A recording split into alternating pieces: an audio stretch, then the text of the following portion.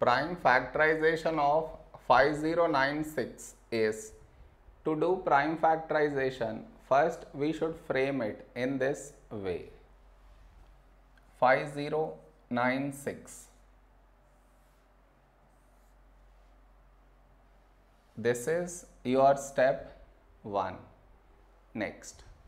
In this number last digit 6 even so take 2 First number 5. A number close to 5 in 2 table is 2 2's 4.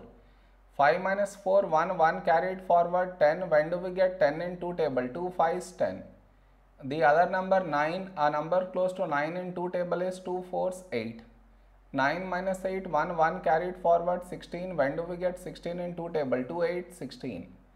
Now last digit 8 even so take 2. First number 2. When do we get 2 in 2 table? 2 1's 2. The other number 5, a number close to 5 in 2 table is 2 2's 4. 5 minus 4, 1, 1 carried forward 14. When do we get 14 in 2 table? 2 7's 14. The other number 8, when do we get 8 in 2 table? 2 4's 8. Now last digit 4 even so take 2. First number 1 smaller than 2 so 2 numbers 12. When do we get 12 in 2 table? 2 6 12. The other number 7, a number close to 7 in 2 table is 2 3 6. 7 minus 6 1 1 carried forward 14 when do we get 14 in 2 table? 2 7s 14 now last digit 7 not even so not divisible by 2 next prime number 3 to check divisibility by 3 for that we should add the digits. What I mean is 6 plus 3 plus 7 we get 16 and 16 is not divisible by 3 so this number also not divisible by 3. Next prime number 5. Last digit is neither 0 nor 5 so this is not divisible by 5. Next prime number 7. Let us check divisibility by 7 here. When do we get 63 in 7 table? 7, 9, 63. The other number 7, when do we get 7 in 7 table? 7 ones 7. No number has been left out, so this is divisible by 7. So 7 here.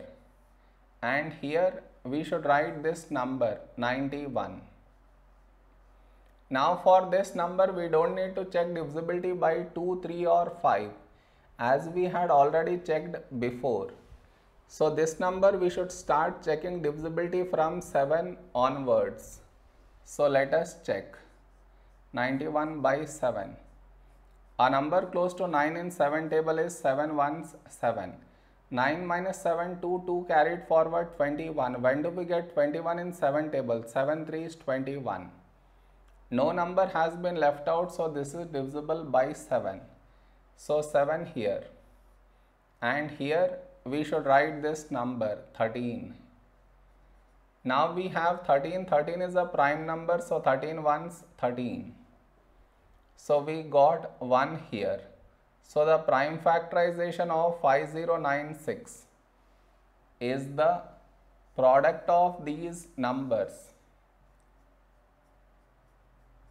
that is 2 into 2 into 2 into 7 into 7 into 13.